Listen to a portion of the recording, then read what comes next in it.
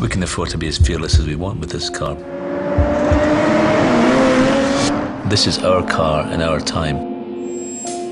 The F-Type is an expression of what Jaguar stands for. Power and speed and enjoyment.